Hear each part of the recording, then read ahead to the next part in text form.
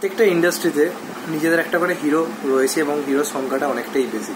বলিউডে তো প্রচুর। সাউথের তামিল তেলেগু মালায়ালাম ইন্ডাস্ট্রিতে কন্নড় ইন্ডাস্ট্রিতে হিরো দিন দিন বাড়ছে। এবং দিন দিন সেই সংখ্যাটা কমার্শিয়াল হিরোর সংখ্যাটা ক্রমশ বাড়ছে। যারা আল্লু অর্জুনের পর, রামচরণের পর, তারপর আরও অনেকের পর, এদিকে বিক্রম টিক্রমের পর, যারা আর কি দায়িত্ব নিতে পারে টলিউড মানে সেই ইন্ডাস্ট্রি বলিউডে যেমন অনেকের রয়েছে।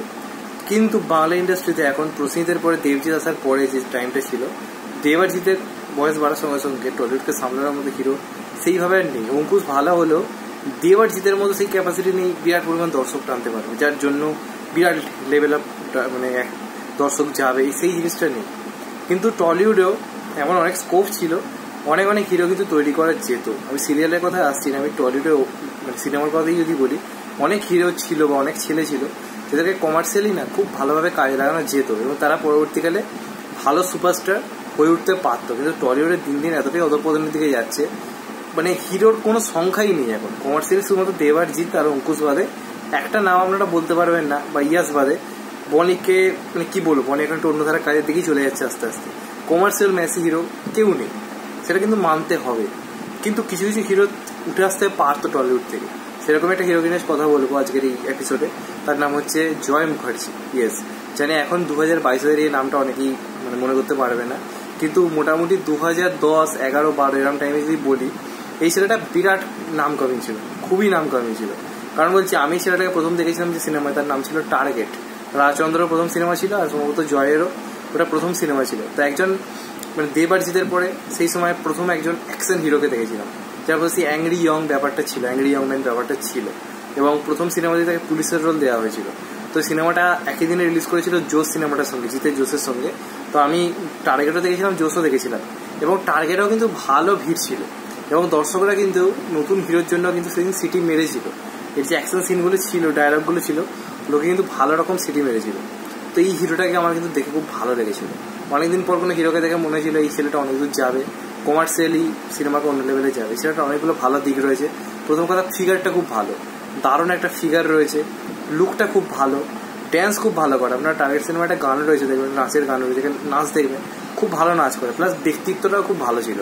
মানে হিরোইন টিরোইনের চেয়ে অনেক গুণে ভালো, অনেক দিক দিয়ে ভালো। কিন্তু এই ছেলেটা পুরোপুরি টলিউড থেকে কিন্তু হারিয়ে গেছে। অথচ প্রথম সিনেমা টার্গেট কিন্তু জিতের মতো একটা স্টারের সিনেমা রিলিজ করেও কিন্তু ভালো রকমই কালেকশন কিন্তু সেই সময় করেছিল। একেবারে ফ্লপ কিন্তু ছিল না।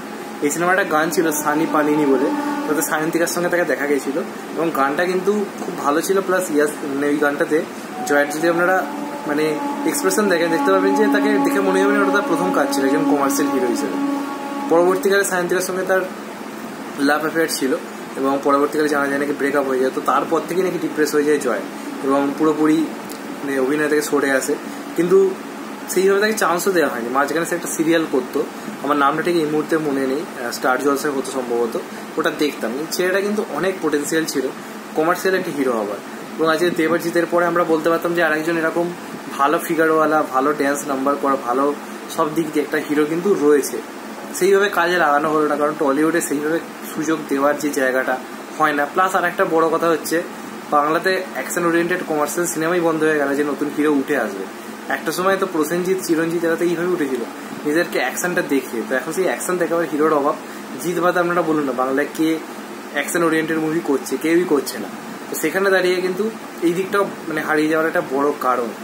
এছাড়া তাকে লাস্ট দেখা গেছিল সম্ভবত একটা সিনেমাতে অঙ্কুশের যে সিনেমাটা ছিল নামটা ভুলে যাচ্ছি, যেটাতে নুসরত জাহান অভিনয় করেছিল। আমি যে কে তোমার? সেখানেও কিন্তু তাকে একটা ক্যামিও করতে দেখা গেছিল যদি তার একদম পার্টটা না থাকার মতোই ছিল।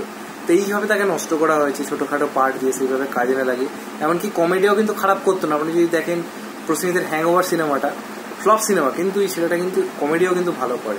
প্লাস উচ্চারণ ভালো। সব দিক দিয়ে ছেলেটা কিন্তু একজন ভালো কিন্তু কমার্শিয়াল স্টার হতে পারতো কিন্তু দুর্ভাগ্যবশত তাকে কাজে লাগানো হয়নি। তবে এখন ভালো ফিগার করেছে আবার। ভালো রকমভাবে ফিরে আসার চেষ্টা করছে। আমার মনে হয় কিন্তু এরকমই হিরোদেরকে, নতুন হিরোদের কিন্তু চান্স দেওয়া উচিত। তাহলে কিন্তু দেবার জিতের ওপর থেকেও চাপটা কমে, তাদেরকে বছরে চার, পাঁচটা সিনেমার চাপ নিতে হয় না। তারাও ভালো স্ক্রিপ্ট করে সিনেমা করতে পারবে। এটা আমার মনে হয়। যাই হোক, তোমাদের হিরো নিয়ে কোনো স্মৃতি আছে কিনা? মানে জয় মুখার্জিকে নিয়ে তোমাদের কোনো স্মৃতি আছে কিনা? তোমরা তার কী কী সিনেমা দেখেছ? এগুলো কমেন্ট করে বলতে পারো। আর যদি ভিডিওটা ভালো লাগে, তাহলে শেয়ার করতে ভুলবে না। আর যদি চ্যানেলটা অন্তত চ্যানেলটাকে প্লিজ সাবস্ক্রাইব করে দিও অ্যান্ড দ্য বেল সবাই ভালো থেকো, সুস্থ থেকো টেক কেয়ার বাই নমস্কার।